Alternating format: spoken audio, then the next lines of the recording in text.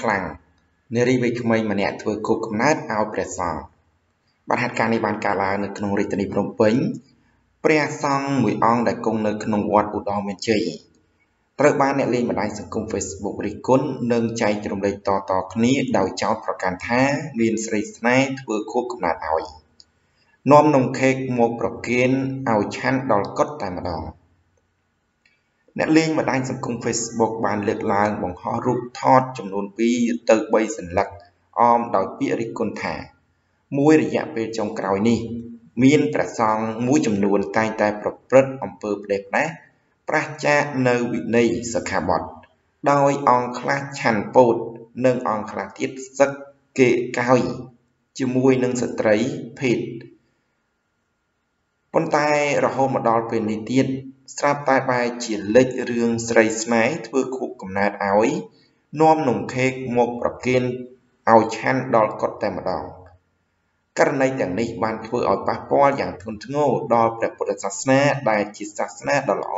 ក្នុងពិភពលោកអ្នកខ្លះទៀតបានលើកឡើងថាការដែលព្រះសង្ឃមួយចំនួនមិនសូវប្រតិបត្តិនៅវិន័យឲ្យបានខ្ជាប់ខ្ជួនបែបនេះ គឺជាអតិពល ដល់អាក្រក់ដល់ប្រសង់ត្រឹមត្រូវ ដែលគោរពនិងប្រតិបត្តិនៅវិន័យសង្ឃបើអ្នកដែលមិនសូវបានគិតវែងឆ្ងាយគឺនៅពេលដែលឃើញបុគ្គលសង្ឃមួយចំនួនតូចដែលប្រព្រឹត្តខុសបែបនេះក៏មួម៉ៅក្តៅក្រហាយទៅលើសង្ឃទូទៅថាតើឲ្យពួកគេឬពួកយើងធ្វើបន់បរិទៅកើតបើព្រះសង្ឃជាស្រែបន់បែរជាប្រព្រឹត្តបែបនេះ ប្រជាពលរដ្ឋមួយចំនួនដែលជាអ្នកចេះដឹង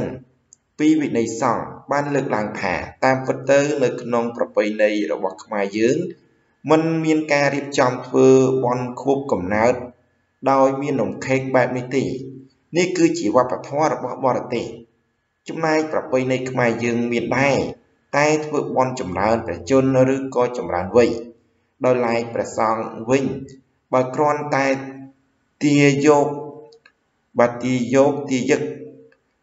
គឺមនុស្សប្រុសមនុស្សស្រី បាទដែលជាអ្នកឲ្យទានប្រគេនទានដោយស្មោះត្រង់ក៏មិនមានអ្វីខុសឆ្គងបាទខុសទាស់នឹងវិន័យនោះដែរប៉ុន្តែបើនាងដែលជាអ្នកប្រគេននំខេកដល់ព្រះសង្ឃមានចេតនាក្នុងរឿងស្នេហា ហើយព្រះសង្ឃអង្គនោះក៏មានសេចក្តីស្នេហាមកលើនាងវិញ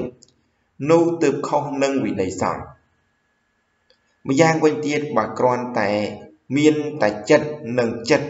ហើយអត់មានប៉ះពាល់ឬក៏បញ្ចេញនៅយ៉ាងបាទនៅកាយវិការណាមួយនោះក៏អត់តាន់ត្រូវអាបត្តិអីដែរបាត់ប្រពុព័រមានដដែលក៏បានបន្តថានៅក្នុងវិន័យសង្ឃក៏មិនខុសនឹងច្បាប់របស់ប្រទេសយើង បាទសូមអធិស្ឋាននឹងច្បាប់របស់យើងជាក្រហមប៉ុន្មានដែរគឺមានទោសធ្ងន់ បាក់ឈឹមឬក៏ស្រាលដូចគ្នាដោយឡែកវិន័យសង្ឃមានទោសធ្ងន់ឬបរាជិកហើយចាក់បាទចាក់ចាញ់បាទចាក់ចេញពីសាសនារួមមានទី1មេធុបាទមេទុធម្មគឺរួមភេទទី2គឺអនិតនានបាទអនិតនាទានភិក្ខុលួចទ្រព្យគេទី3គឺមនុស្សវិកៈ ភិក្ខុខ្លែងបាត់ខ្លែងសម្លាប់មនុស្សនិងទី4ឧតៈបាទឧតៈអរិមនុស្សធម្មភិក្ខុពោលអួតគុណវិសេសនៅក្នុងខ្លួនបាទសជាស្រ័យពិសិដ្ឋខ្ញុំអានទៅធွာខ្ញុំអត់សូវចេះប្រមាណទេបាទតែតែខុសអីសូមអធិស្ឋានឬក៏ខមមិនជួយបង្ហាញពីអឺពីពាក្យទាំងអស់នោះផងបាទ បាទកាលណាភិក្ខុអង្គណាមួយប្រព្រឹត្តខុសនៅក្នុងអាបត្តិមួយ នៅក្នុងសិក្ខាបទទាំង4នេះគឺមានទោសស្មើនឹងមនុស្សកំបុតក្បាលដើមថ្នោតកំបុតកដែលហៅថាត្រូវអាបត្តិបរាជិក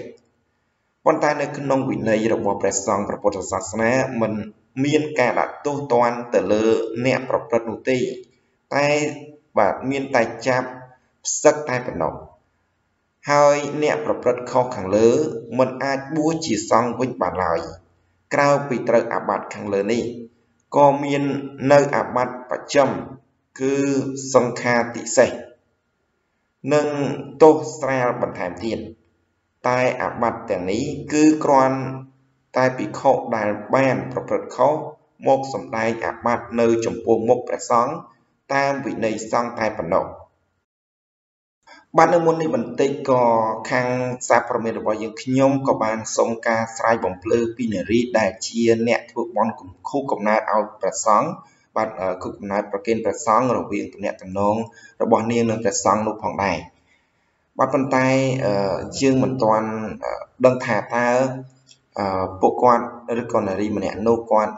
ប្រគេននឹងក្នុងគោលបំណងអ្វីនោះទេហើយរវាងព្រះសង្ឃហើយនឹង នារីម្នាក់នោះមានទំនាក់ទំនងអ្វីនឹងគ្នាដែរបានយើងមិនទាន់បានស្រុំការស្រាយបំភ្លឺពីអ្នកសង្ខានោះទេព្រោះតាក់ទងទៅអត់ចូលបាទបើសិនជាខ្ញុំបានតាក់ទងបាទហើយក៏មានការបកស្រាយពីភាគីទាំងពីរអ្នកនោះក៏ខ្ញុំបាទនឹងជម្រាបជូនបន្តទៅតាមក្រោយបានជើងព័ត៌មានដែលខ្ញុំបានលើកឡើងនេះក៏ជាព័ត៌មានមួយក្រៅរំលឹកដល់ព្រះសង្ឃបាទព្រះសង្ឃគ្រប់ព្រះអង្គ បាទនៅពេលដែលយើងធ្វើអំពើអ្វីមួយដែលខុសឆ្គងដែលគ្មានធម៌វិន័យដែលមិនប្រព្រឹត្តតាមធម៌វិន័យរបស់ពុទ្ធសាសនារបស់យើង ដែលជាសាសនារបស់រដ្ឋដ៏ផុសផង់នេះទេអញ្ចឹងយើងអាចមានបញ្ហាហើយកុំខឹងចំពោះការទីទានរបស់អ្នកអ្នកដែលគាត់ឃើញព្រោះថាវាវាឆ្កងវាធ្វើទៅវាឆ្កងវាធ្វើឲ្យអ្នកដែលទីទានហ្នឹងគឺចាប់ផ្ដើមទីទានហើយ ប៉ុន្តែនៅក្នុងនេះផងដែរក៏ខ្ញុំក៏បញ្ជាក់ដែរថានៅក្នុងព្រះពុទ្ធសាសនាយើងមានធម៌វិន័យ4សម្រាប់ព្រះពុទ្ធសាសនាដែលត្រង់តាមធ្វើតាមនោះបើសិនជាខុសនៅក្នុងធម៌វិន័យបាត់ធម៌វិន័យណាមួយនៅក្នុងពុទ្ធសាសនានឹងត្រូវចាប់ផ្សឹកឬបរាជិកតែម្ដងបាទនៅក្នុងការធ្វើនំខូបនេះក៏វាមានអត់មានអីទាស់ដែរបាទនៅក្នុងនេះក៏ខ្ញុំបានបកស្រាយដែរវាអត់មានទាស់អីទេ កុំឲ្យតែចិត្តយើងនឹងឬក៏កាយប៉ះកាយបាទចិត្តគ្រាន់តែយើងមានចិត្តហ្នឹងក៏វាទោសមួយដែរតែមិនធ្វើមិនសូវជាធ្ងន់ណាបាទហើយគាត់ថាធ្វើនំខេកឲ្យនេះវាអាចថាដូចជាធ្វើបាយចង្ហាន់ឲ្យលោកចឹងប៉ុន្តែទោះបីជាយ៉ាងណាក៏វានៅតែខុសនៅក្នុងពុទ្ធសាសនាយើងដែលមិនដែលមានការធ្វើគុកកំណើតឲ្យព្រះសង្ឃបែបនេះទេ បានចឹងព័ត៌មានដែលខ្ញុំបានលើកឡើងនេះក៏សូមបញ្ចប់តែម្ដងដើម្បីបន្តបាននៅព័ត៌មានបន្តទៀតសូមជួយចុច like share និងចុច comment ប្រសិនបើប្រិយមិត្តអឺឃើញថាទស្សនៈឬក៏ព័ត៌មានមួយនេះវាឆ្កំឆ្គងវាមិនគួរឲ្យកើតមានសម្រាប់ព្រះសង្ឃគ្រប់អង្គដែលធ្វើគុកកំណើតអញ្ចឹងទេសូមអាចជួយ comment នៅខាងក្រោមបាទអាចឆ្លើយតែ yes មួយថាខ្ញុំមិនចង់ឲ្យព្រះសង្ឃធ្វើគុកកំណើតបែបអញ្ចឹងទេបាទឲ្យស្រីស្នេហ៍មកធ្វើគុកកំណើតឲ្យអញ្ចឹងទេបាទបានអញ្ចឹងបន្តទៀតហើយក៏សូមចុច subscribe លើ channel របស់យើងខ្ញុំផងបាទផងដែរបាទសូមអរគុណសូមជម្រាបលា